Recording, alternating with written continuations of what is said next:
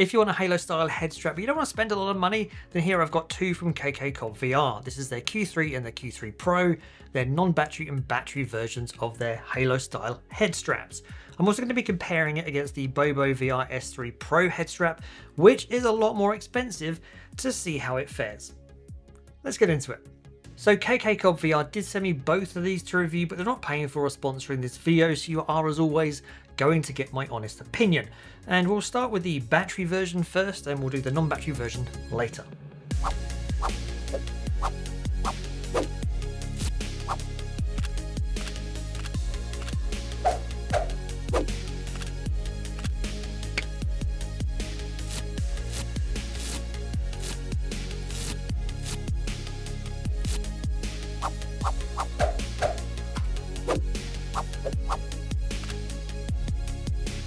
I really do like these dials at the front because they allow you to really easily move your headset further away from your face or closer. So just with the twist of a dial. It just means it's super easy to sort of crank it in really tight if you're playing like a fitness game or a fighting game or something that's fast moving and then you can just loosen it and push it out a bit when you're doing something a little bit more relaxing like watching a movie or playing cubism or something like that. So it's almost like you're kind of getting an elite style head strap and a Halo style head strap all built into one. And one thing that's often an issue with head straps is how compatible are they with various facial interfaces? Now, it's not an issue with this one really at all because there is so much room between the headset bar that's up here, or the forehead bar, and any facial interface that is in here. It's really not a problem with this head strap. It is a little bit fiddly getting to the adjustment dial at the back, especially with a battery attached to it like you've got here, because there's not much room between the battery and the dial. You can just sort of move that out of the way. Um, it's a minor gripe, nothing really big. There's also plenty of padding in here too. We've got some padding in the top strap over here. On the back, there is also plenty of padding for the back of your head. And then you've got padding for the forehead bar as well. But as for the top strap, yes, you can wear it, but if you set this up properly so that your forehead takes most of the weight of the hair strap across your forehead, you honestly don't really need that. And I found myself taking it off and the same for the front as well and it just actually made the whole thing a lot easier to use. So I'm going to take it off, which is quite easy done, you just take the straps off. I'm going to put that down there somewhere and we'll undo that as well. There we go. So that cushioning on the forehead bar, on the back cushion itself, means that you can game for hours with this head strap on your headset. Now, of course, if you do want to play for hours at a time, then you need the power to be able to do it as well. And this is where this head strap comes with a 10,000 milliamp hour battery. When you do put the battery onto the head strap, do make sure that the two holes at the top here line up with the two prong sections there and then it magnetically just attaches and will start charging your headset straight away. There is a button on the top so you can turn it on and off if you want, and there's four little LEDs as well that tell you how charged the battery is. And when you want to charge it, there's a USB-C port on the top, and the battery takes about three and a half hours to charge up to full. I'm going to do some battery tests in a bit, comparing it against the battery from the Bobo VR S3 Pro, so you can see how it compares. Is there anything that I don't like about this head strap? Well, not really. There's just a couple of things that I think you should be aware of before you go and buy it. First is around the fit, and it's not really an issue, again, just something you should be aware of because yes, the padding on the forehead bar and the back headrest make it super comfortable to wear and honestly when you wear it it really does take the weight off your forehead the weight off your face and it makes the quest 3 and the quest 3s seem a lot lighter. However i did find that the forehead bar was tighter on my forehead. Now I've got a big noggin of a head and so generally I have trouble with anything fitting my head anyway.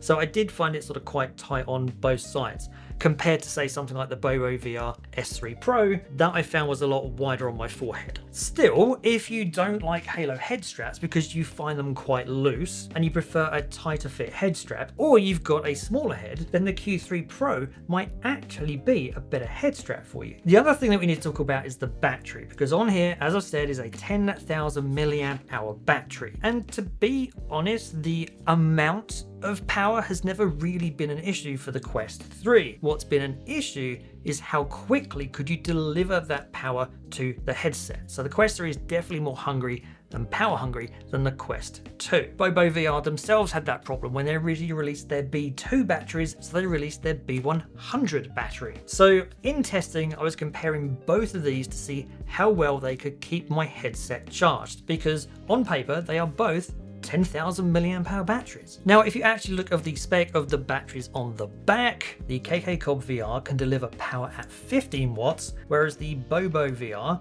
can deliver power at up to 35 watts. Now, that might sound as though this one is way better than that one, but in reality, that's not the case at all. So I tested both these with my headset at around 44% battery before I started plugging these in. I also used an ammeter to actually measure the watts and the voltage and the ampage so I could get an accurate measurement. And what I found was that the KK VR battery delivered around 14 to 15 watts of power to the Quest 3, whereas the Bobo VR one delivered power around 18 to 19 watts. So you're getting about an extra 5 watts of power delivered to the Quest 3. Now, that doesn't matter too much because in actual reality, when you actually use these to play games, both of these delivered around three hours of gameplay to your headset so you could play way longer than you could with just the headset by itself. So yes, the KKCOBVR battery does deliver power slightly slower than the Bobo VR one. So in some games, if it's completely maxing out the Quest 3, you might find the drain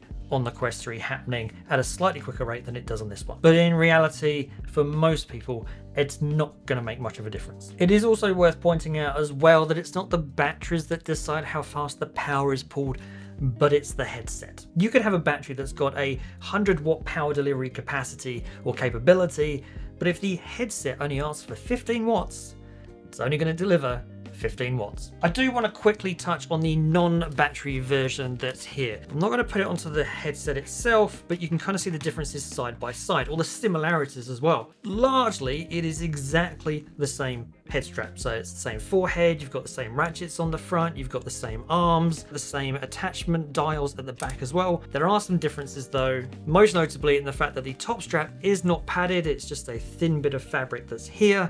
And on the back, you don't have any padding, it's just this soft silicone cup. And obviously there's no battery that comes with this. It does mean that your Quest 3 does feel a little front heavy because you don't have the counterweight acting to offset that weight. It is worth talking about weight here so you know how much extra weight you're adding to your headset.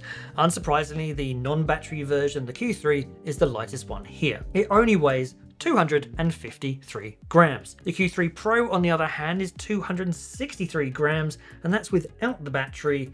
Chuck a battery on top, and that's going to weigh 444. And if you compare that to the Bobo VR S3 Pro, well, on its own, it weighs 360 grams or 545 if you chuck on the battery. So the Q3 Pro is about 100 grams lighter than the Bobo VR S3 Pro. So which of these should you buy if any?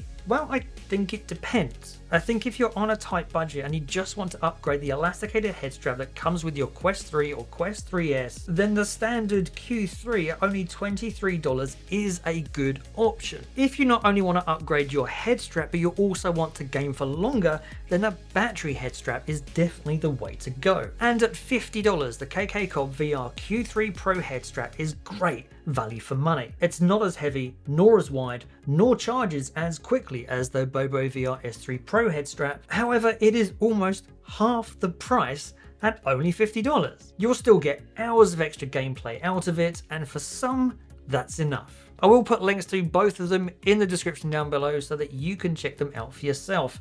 If you want to check out some other options, then be sure to check out the link up here. Thanks for watching. If you have enjoyed the video, please don't forget to like and share it consider subscribing if you're not. And as always, I'll see you in the next one.